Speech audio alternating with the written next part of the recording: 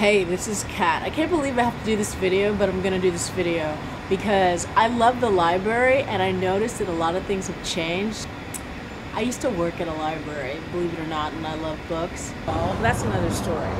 And I've noticed that people eat in the library, they drink in the library. When I say drink, I'm talking about like sodas or coffee or whatever. I guess some libraries let you do that, but normally it's a bad idea if you're around computers. Also, people do not turn off their phones.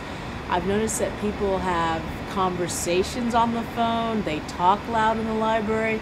The library is supposed to be a sanctuary where people can study, read, uh, browse books. It's a beautiful place, so please respect the library and and the people that work there. I'm used to being in a library that's quiet so I can read or write or whatever I'm working on and other people appreciate it too. So if you're not used to being in the library, but shh, if you weren't told how to behave in the library, let me give you some quick tips.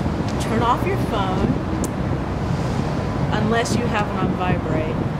Um, wear earplugs if you're using a computer where they're playing music or doing things loud. Um, don't have conversations in your full voice in the library.